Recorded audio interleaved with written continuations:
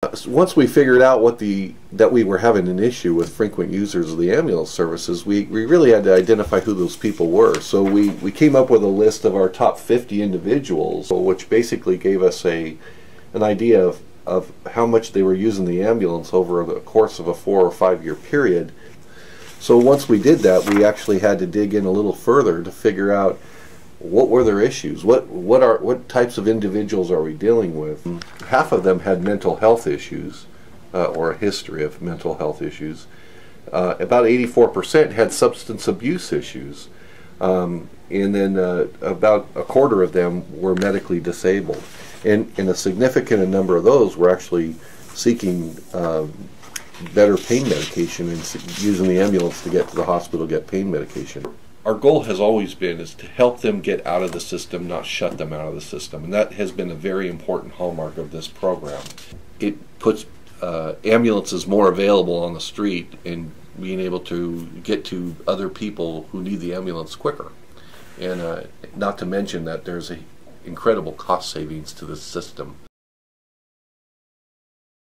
I would feel scared, and I'd get a really scared feeling, and I'd be like, "Oh my gosh, I need to go call the ambulance."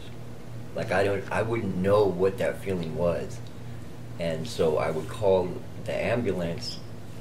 And when I called the ambulance, the the tension would go down. So I'd be like, okay, well, when that happens again, call the ambulance, you go see the doctor, and everything will be fine. And then it got to the point where they were like, you can't do that. And so that's when I really started to utilize the the other resources that I had, and it's hard to. I mean, when when you can just call the ambulance and everything is fine. To to having to make sure that you talk to somebody, it, it kind of go it, it gets hard because you have to deal with it.